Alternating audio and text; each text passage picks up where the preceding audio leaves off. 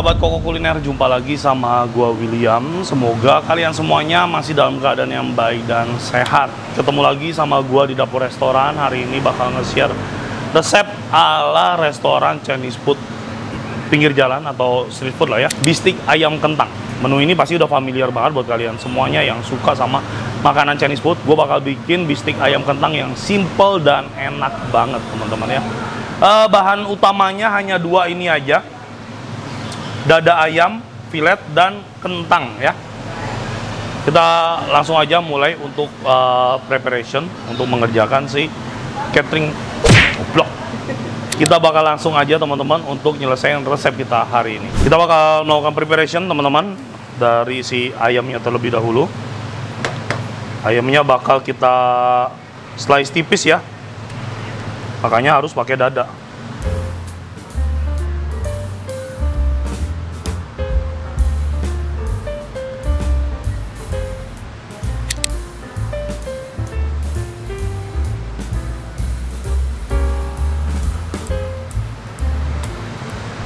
Oke, udah selesai dengan ayam. Sekarang ke kentang ya. Kentangnya kita potong panjang-panjang juga nggak apa-apa. Ini udah dicuci bersih ya, cuman nggak kita kupas aja kulitnya. Yang penting kulitnya udah kita sikat. Pokoknya intinya udah bersih lah.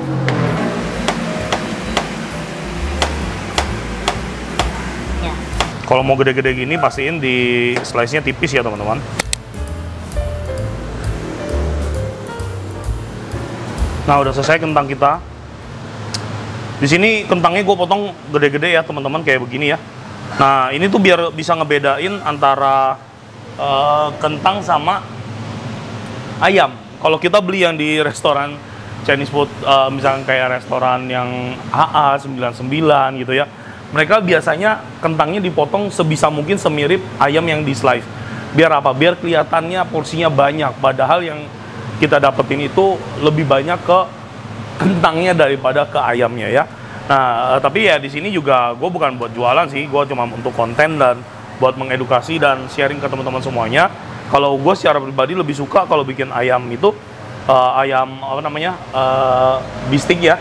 eh, kentangnya ya potongannya harus dibedain sama ayam biar kita tahu mana kentang mana ayam. Intinya sih kayak gitu ya. Nah ini eh, kita cuci dulu ya si kentangnya.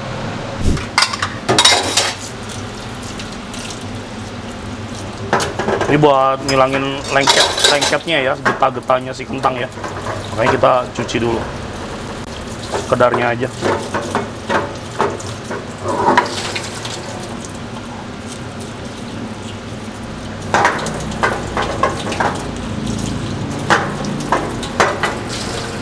Oke, cukup. Sekarang kita ke bagian ayam langsung kita marinasi ya. Ada minyak wijen, kecap ikan, seasoning. Secukupnya aja ya. Kita aduk-aduk.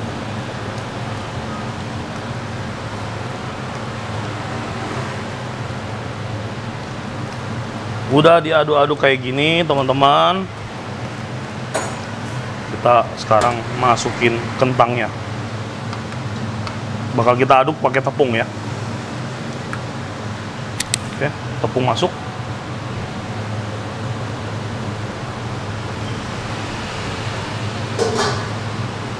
Nah ini basicnya tepung yang kita pakai pun tepung eh, yang udah dimarinasi ya teman-teman. Jadi tepungnya tuh nggak nggak plain atau nggak tawar ya.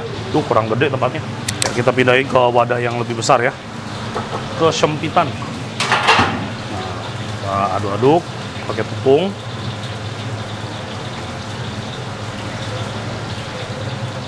Sampai benar-benar udah kecampur rata. Nah, teman-teman, bistik itu sebenarnya ya kembali ke masing-masing chef atau koki punya standar ya.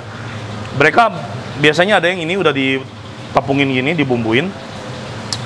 Terus mereka bikin adonan basah. Jadi nanti setelah ditepung kering kayak gini, dicelupin, digoreng lagi. Tapi kalau gua metodenya nggak begitu teman-teman ya. Ini udah satu kali kita lakukan proses penepungan ya. Nah, terus langsung kita masukin dua butir telur ya. Jadi langsung kita adon di dalam sini.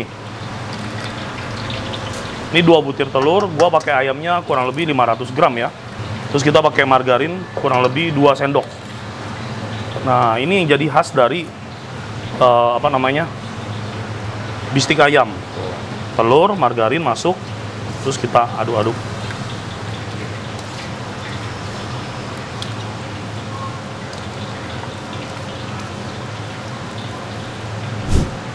Nah, teman-teman bisa lihat dari warnanya ya, warna adonan kita nih udah kayak eh, bistik-bistik pada umumnya tuh. Jadi adonannya warnanya kuning ya. Rahasianya itu ada di margarinnya ya. Oke, udah jadi nih adonannya kurang lebih kayak gini ya, teman-teman semuanya. Ya, adonan udah masuk. Sekarang kita tinggal tambahin air. Kita tambahin air perlahan.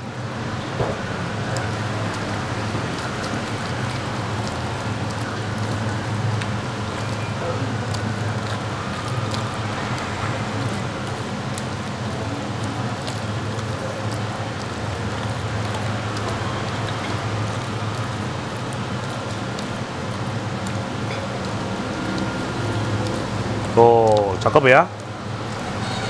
Oke. Kalau dirasa kurang cair, tambahin lagi eh, airnya pelan-pelan. Ya, jadi kalau bistik itu tepungnya bukan tepung kering gitu ya, tapi tepung basah yang kita goreng ya.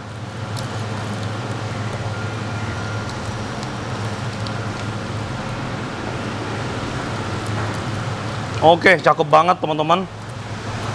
Adonan bistik kita udah jadi. Nah, kurang lebih seperti ini. Sekarang kita bisa lanjut yuk ke tahap penggorengan ya. Kita udah cuci tangan, sekarang kita bakal langsung goreng ya. Nah, ini tepungnya mah tipis-tipis juga nggak masalah ya. Tuh. Kita goreng semuanya.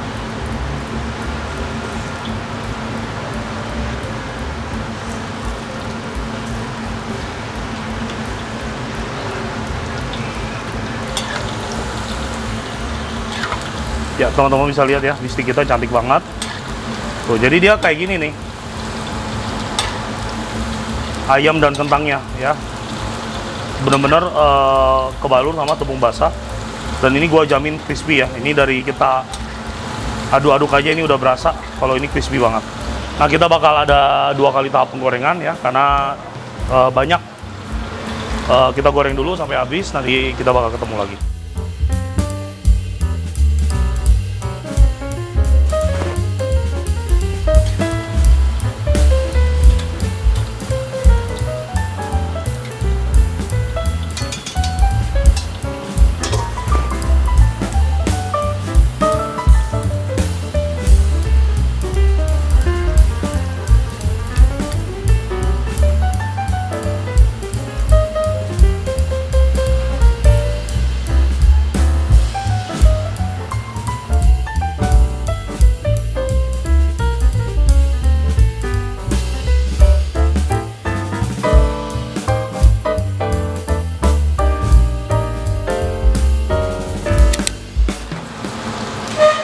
Oke, udah selesai kita goreng teman-teman. Semuanya nih ayam dan kentangnya ya. Wah, cantik banget.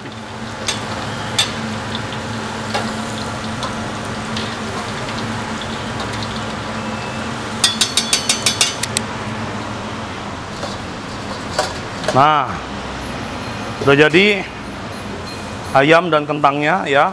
Kurang lebih seperti ini eh, basic untuk si bistiknya ya, teman-teman semuanya. Eh, buat teman-teman yang udah biasa beli atau makan bistik pasti tahu lah bistik itu seperti apa ya.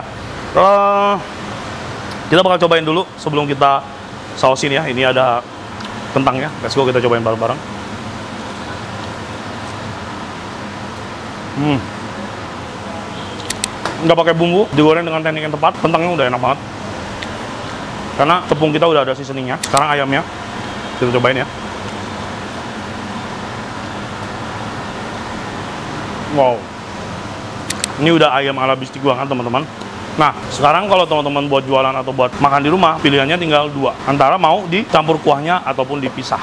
Ya kan? Dan uh, bistik itu mereka ada beberapa variasi sih. Mereka biasanya ada yang pakai saus asam manis, ada yang pakai saus kecap, ada yang pakai saus mentega. Dan hari ini gue bakal bikin yang pakai saus mentega ya, teman-teman semuanya. Jadi langsung aja bistiknya udah jadi, tinggal kita eksekusi jadi uh, bistiknya dengan saus menteganya. Let's go.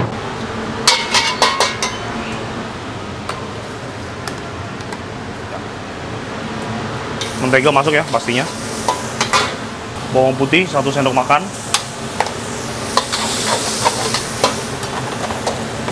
Daun bawang.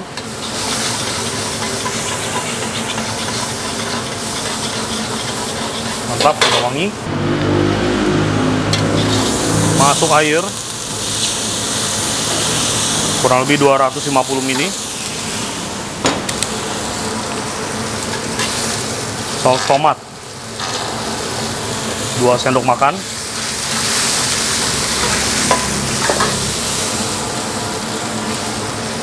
Kecap manis.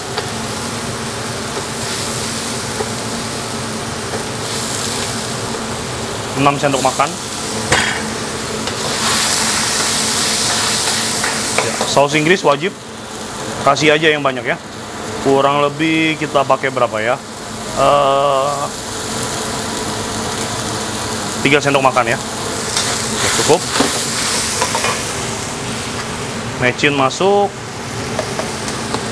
Gula masuk. Nah sekarang masuk minyak wijen. Gokil. Kita cobain dulu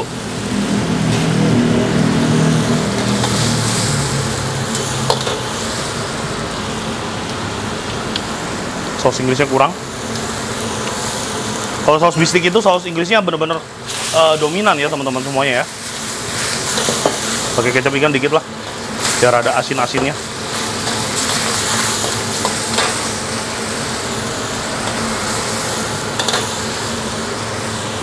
Oh mantap, mantap. Sekarang tinggal kita kentalkan.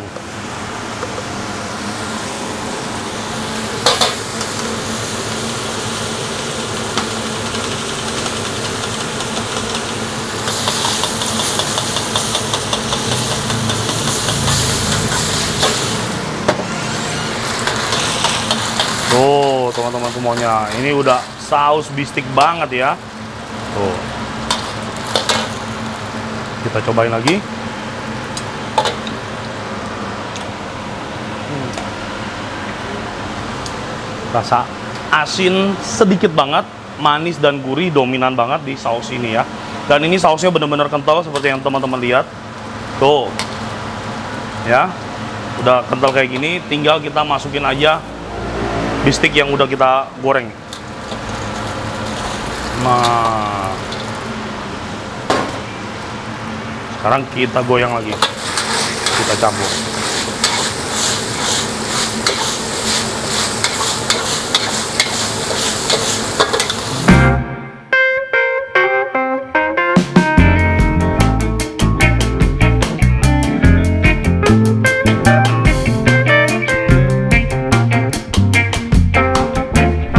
Oke teman-teman semuanya, udah jadi. Ini dia penampakan bistik kita ya. Kita lihat bareng-bareng. Tuh, kentang ayam terbalur dengan saus yang super duper kental ya.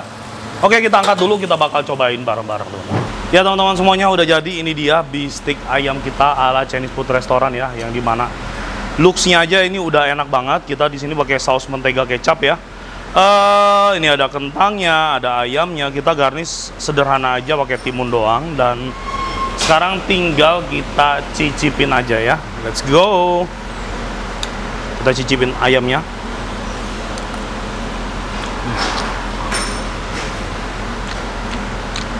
Kentangnya. Hmm. Nggak bisa berkata-kata ini enak banget.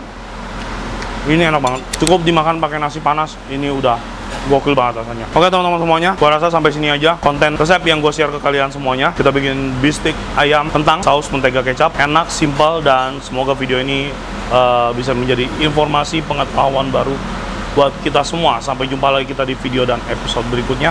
Sehat selalu, Tuhan memberkati. Bye.